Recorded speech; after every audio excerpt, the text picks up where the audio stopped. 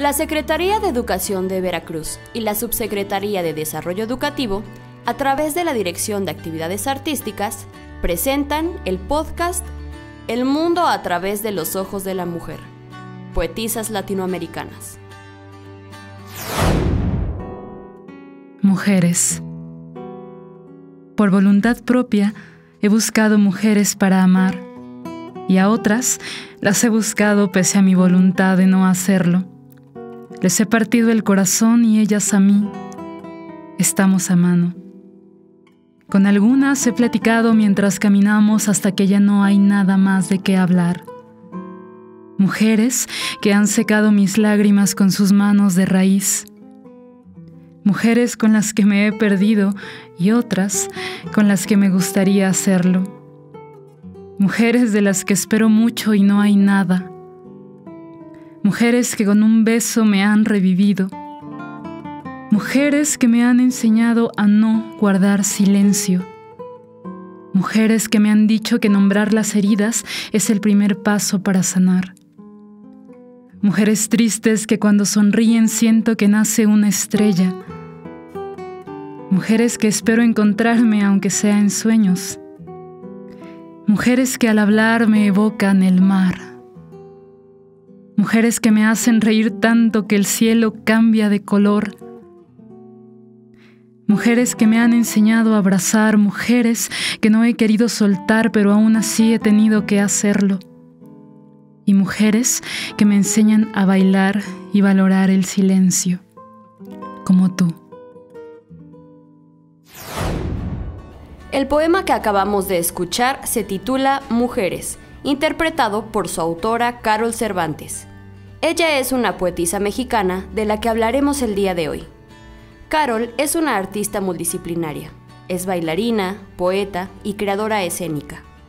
Egresada de la Academia de Danza Mexicana del Instituto Nacional de Bellas Artes en la Ciudad de México. Cuenta con múltiples diplomados en coreografía, performance y poesía por el IMBA y otras instituciones, como la Universidad Autónoma de Guanajuato y la UNAM. Es acreedora del primer y segundo lugar en el concurso de baile a favor de la diversidad sexual UNAM ha sido invitada para compartir su trabajo en plataformas de artes escénicas a nivel nacional e internacional. Participó como coreógrafa y performer en la Cuatrienal de Praga 2019. La escritura es fundamental en sus procesos creativos. Su proyecto Poesía y Movimiento es un taller dirigido a mujeres que desean explorar la palabra como detonadora de movimiento. Es fundadora del Departamento de Serenatas Poéticas. Su trabajo como poeta ha sido compartido en radio y plataformas virtuales. Participa activamente como slimer en torneos de poesía. Trabaja con y desde los afectos para realizar sus obras, mismas que se sitúan en el territorio de la danza, coreografía, teatro, performance y poesía. A continuación, escucharemos Señora, interpretado por Sandra Hernández.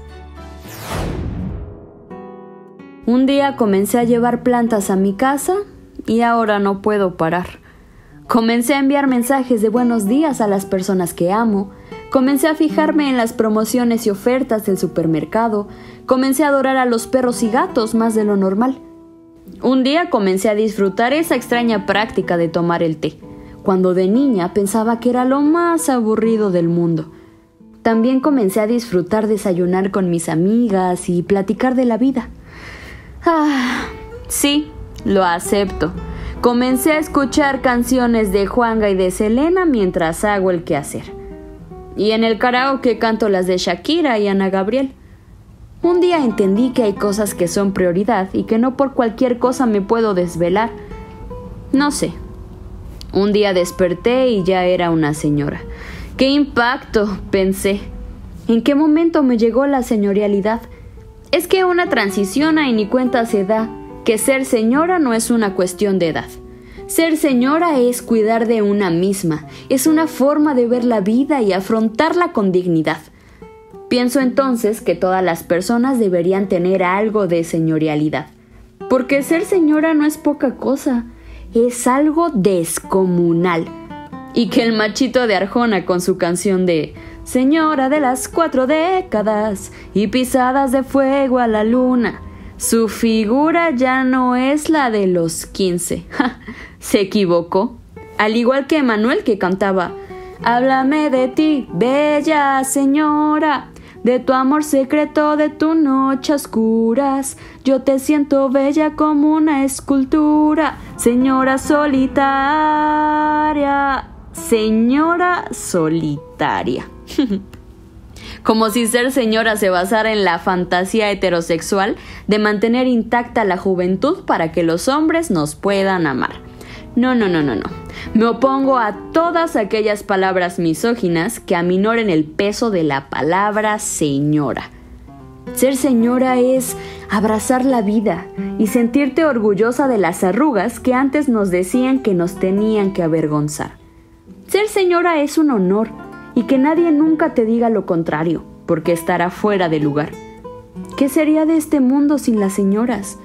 Seguramente un lugar muy triste de habitar.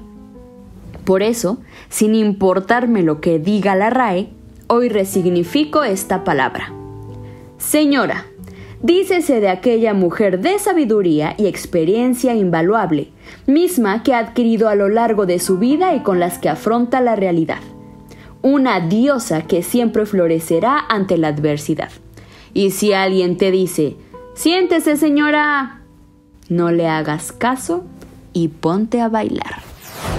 La Secretaría de Educación de Veracruz y la Subsecretaría de Desarrollo Educativo, a través de la Dirección de Actividades Artísticas, presentaron la quinta temporada de su podcast El mundo a través de los ojos de la mujer, poetisas latinoamericanas. Adiós.